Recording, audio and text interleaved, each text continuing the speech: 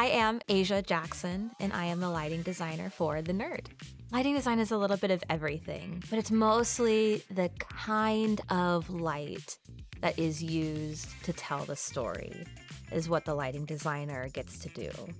Uh, so in this case, the kind of lighting, what uh, what we have chosen is a very realistic, if not maybe a little exaggerated, homey, warm, uh, naturalistic lighting approach. So the lighting design for the nerd is in that kind of way. This set has over 25 practicals on it. So most people have like four, maybe there's two lamps on the end table, maybe an overhead lamp, maybe a floor lamp, maybe even like we'll just exaggerate a little bit, maybe there's another lamp at the entry. This one has as many as possible. So that way the set really does emit its own light so that there is some kind of lighting attraction built into how we have approached the scenic design.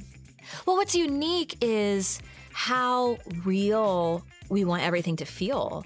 You know, these are real people that are having an experience that is exceptionally relatable. Um, so the lighting should be able to acknowledge that. But we're in the theater, so it has to be a heightened way. You know, there's a reason why we're all gathering hundreds of people here to come and see this romp.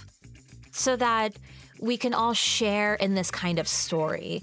What is so unique about this play is that you can kind of put yourself in different characters' points of view based on where you're at in your own life. There's a hyper relatability to the piece.